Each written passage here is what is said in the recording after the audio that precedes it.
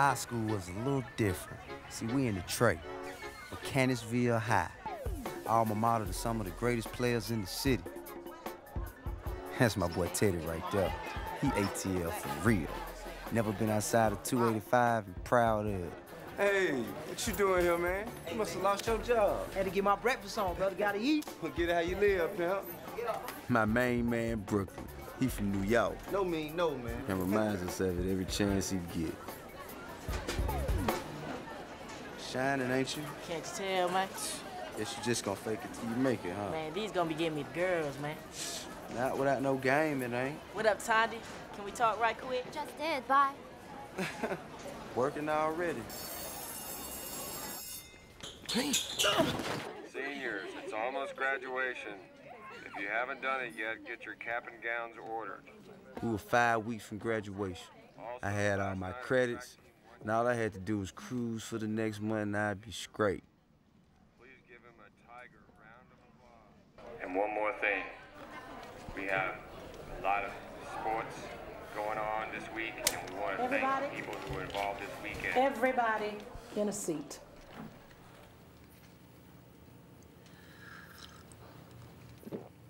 Year's almost over. Thank you, Jesus. Y'all slackers better figure out what y'all gonna do for the summer. My little brother wasn't exactly a troublemaker, but he ran his mouth too much. Why? And he was definitely hard headed. I know what I'll be doing this summer. I'll be getting paid. Uh-huh. Miss Jackson, can you please cut on the AC? Man, it feel like a slave ship in here. Air conditioning is for honors classes. Kids who want to make something out of themselves. Was you in honors classes? Cause you ain't got no AC either. See what I'm saying? Stayed in trouble. But I couldn't wait on him to get out detention. We had to scoop Teddy.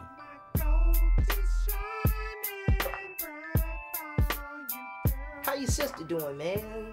I've been trying to call her and she ain't been calling me back and shit. But she trying to play me something she seeing somebody else. Come on, man. Keep it real with me. What's happening, Teddy? Hey, what up, man? Who got next? Part on the left, man. Part on the left. You know how it is. Open wide, wide, wide, wide, wide, wide.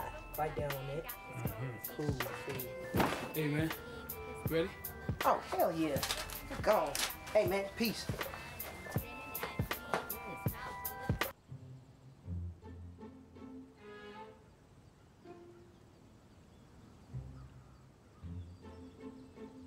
After we pick up Teddy, we shoot on over to the Shady Grove Country Club.